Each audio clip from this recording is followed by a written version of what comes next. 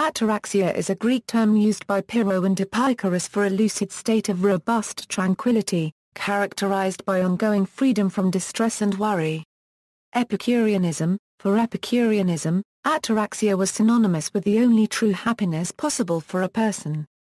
It signifies the state of robust tranquility that derives from eschewing faith in an afterlife, not fearing the gods because they are distant and unconcerned with us, avoiding politics and vexatious people, surrounding oneself with trustworthy and affectionate friends and, most importantly, being an affectionate, virtuous person, worthy of trust. Pyrrhonism, for Pyrrhonism, given that neither the sense impressions nor the intellect, nor both combined, is a sufficient means of knowing and conveying truth, one suspends judgment on dogmatic beliefs or anything non-evident.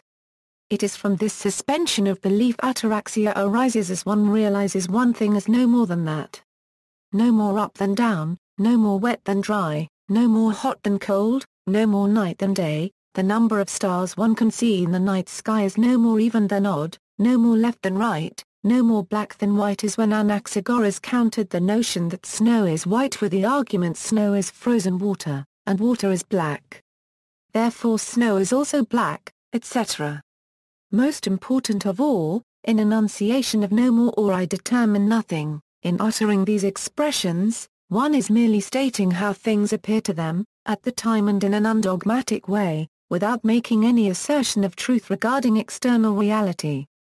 Stoicism For Stoicism also sought mental tranquility and saw ataraxia as something to be highly desired, often making use of the term. For them, the analogous state, attained by the Stoic sage, was the absence of passion or apatheia. See also, apatheia, aponia, enlightenment, equanimity, eudaimonia, euthymia, flow, freedom from fear, nirvana, pyrrhonism, qingjing upekkha. References. External links, the dictionary definition of ataraxia at Wiktionary